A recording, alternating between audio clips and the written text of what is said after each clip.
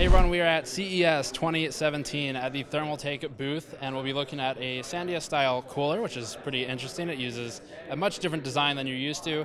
Looking at an RGB illuminated AIO cooler, and we'll mention some of the P3 and P1 series cases while we're going through here. Before getting to that, this coverage is brought to you by CyberPower and their Syber XL gaming PC, which has an invertible motherboard tray layout. Learn more at the link in the description below. So starting off with the AIO. This is really not too different fundamentally from what we've spoken about a million times at this point. It's an AIO liquid cooler. There are three 120 millimeter fans, and they use the Rain version 2 RGB LED fans that we talked about previously when visiting Thermaltake's studio and offices uh, in Southern California. What is different is the pump. So I can't lift this up too much, but we've got some B-roll of it.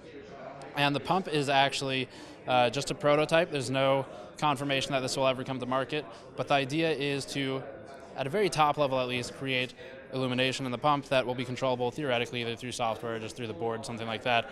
Uh, and you may have seen that on the Kraken series coolers that we reviewed recently, the X2, so X42, 52, 62. Same idea.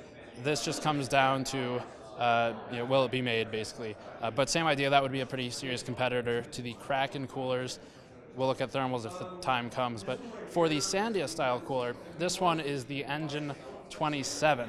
And this is a small form factor cooler. It can cool somewhere around 70, 75 watts of power, so it's not built for high-end stuff, obviously. You throw it on something like one of the new i5 non-K SKU CPUs, which have about a 65 watt TDP. Something like this would work for that.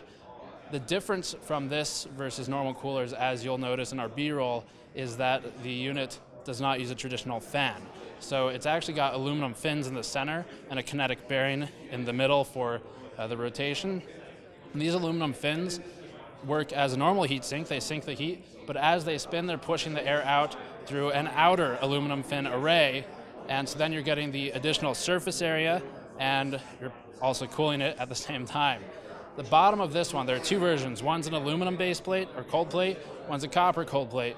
The one I have here is a copper cold plate, and if we look at the side, it's got two layers of copper with a layer of what looks like aluminum in between, and in this model, I'm told there's a heat pipe inside the cold plate, but it's not confirmed if that will be final and make it to production or not. As far as the plate itself that contacts the CPU, that is a protruded piece of copper, which we've generally found to perform at least a little bit better than a flat piece of copper. So that's what we have for the Engine 27. Uh, no price on most of these things. The Engine 27 is a prototype, but will probably come to market. This is an existing case. It's got tempered glass on it, the P5. There's also the P3, and we'll be talking about the P1 next. So we'll move over there. And now we're next to the Core P1 TG. This is a mini ITX version of the P3 and the P5 and in that and to that end it has the same feature set for the most part with obviously just being a bit shrunken. The p1 tg can mount to your wall just like the p3 the p5 could. Uh, can't mount it to the wall in the venetian. They would get pretty mad but it is wall mountable. Otherwise the main feature set is a semi-modular layout for the chassis the frame itself. And that starts here with the video card where you've got the framing and a PCIe riser cable so that the video card can be facing with the front plate out, which is really just for visibility. There's no other functional add to that other than just being able to see the front of the card. If you don't like that, just with as with the other cases, you pull that out, switch the card, mount it to the PCIe slot on the motherboard just like normally, and uh, in terms of fitment, it can fit any size video card because really there's no side panel to the case. It just shoots straight out. But any card should be contained within that space.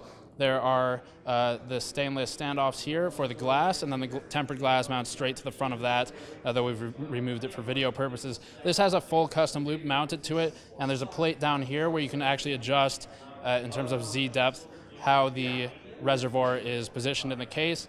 There's a radiator in this particular build. It looks like about a 240 millimeter radiator mounted in its own compartment back here and then the tubes are routed uh, to the CPU, the GPU, all that stuff as expected. Cable management happens behind the board tray, and then for power supplies, there can be a full ATX form factor power supply. That about covers it. There's no price that I have right now for this case. We'll have more information in the article linked in the description below as always. Subscribe for more. Patreon link the postal video helps out directly. Thanks for watching. I'll see you all next time.